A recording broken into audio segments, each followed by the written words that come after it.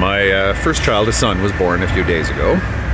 Um, and like all new mothers, uh, my wife uh, is convinced that the baby is perfection, God itself, all that kind of thing. Um, in a way, I feel the same way, but you know, my more analytical side says, no, it's just a little baby. That's all. Just a human being. No different from me, no different from any other human being that has ever been born. Um, I'm not trying to say that I don't love the child. I most certainly do. But again, I like to, you know, sort of analyze things and sort of say what's it like to be a little baby and what does it mean to be a newborn, etc., etc. Now, what is the nature of a human being? Um, now, this question is important. What value do we have? What are we? Um, and the answer to that, generally, if you ask me, says more about the person who is answering it than it does about the actual value of human beings, or the value of human life, or whatever you want to call it.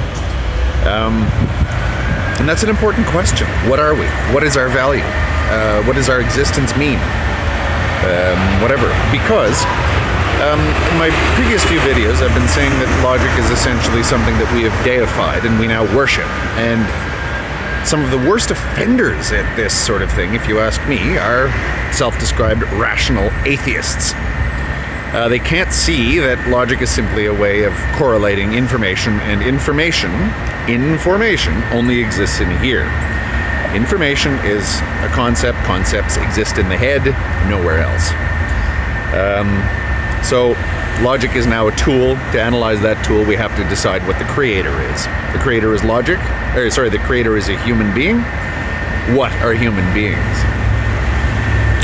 That question makes a lot of people very uncomfortable. Now, I could, I can understand why, say, a religious person would be uncomfortable by that, um, or would want a clear-cut answer handed to them so they don't have to think it through. In other words, are we fallen beings that are horrible and you know we need to claw our way back up to redemption? That's what some Christians think. Or are we um, are we made in God's image and um, we are therefore somehow above everything else? That's the Christian answer to that kind of thing, and it doesn't doesn't do it for me. Um, but um, you ask an atheist, what are we? What do you mean, what are we? Okay, what's um, you know, what's logic? Okay, well, they the atheists that I've run into, a lot of them will say that logic is an absolute thing, and then I say no, it isn't. It's just a creation of humans. The atheists are the ones who start to squirm a bit when you say, no, no, no, we got to look back into the mirror uh, to find out what logic actually is.